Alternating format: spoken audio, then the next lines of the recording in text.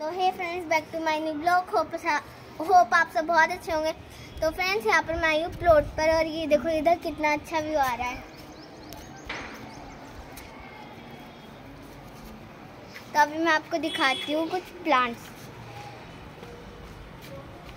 ये देखो फ्रेंड्स ये एलोवेरा का प्लांट है और ये नीम का. और अब मैं आपको लेके जाती हूँ नीचे. इधर बहुत सारे प्लांट्स हैं.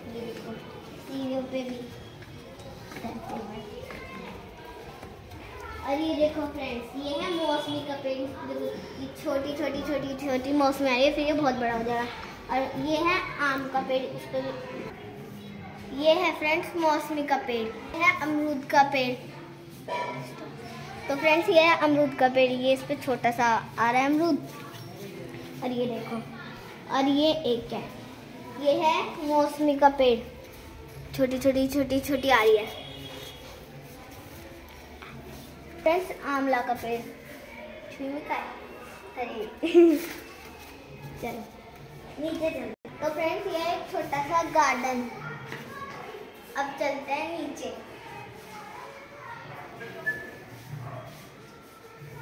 पॉज कर रखिए। लड्डू गोपाल जी। और ये पूरा इधर का मंदिर है और ये है इसके बराबर में एक रूम। और अभी चलते हैं नेक्स्ट रूम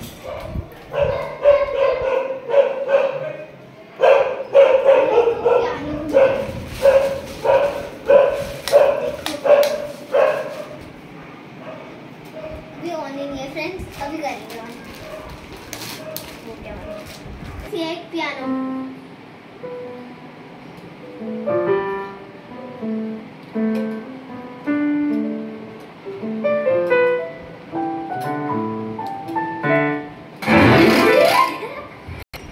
फ्रेंड्स ये अभी स्माइल कर रहा है, अभी मैं इसको गुस्से में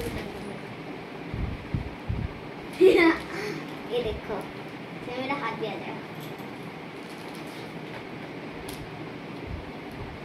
मैं भी गुस्सा नहीं हूँ, इसलिए मैं इसको कर दी अब मैं आपको दिखाती हूँ ग्लोब ये देखो ग्लोब लेकिन इसमें इंडिया को ढूंढना मुश्किल है, क्योंकि ये फ्रेंड बहुत बड़ा है। इंडिया ये रहा। ढूंढ दिया। और ये देखो लैंप है। और ये भी पेंटिंग है। और वो देखो ऊपर कृष्ण जी वाली है फ्रेंड्स और ये पूरा मैप है।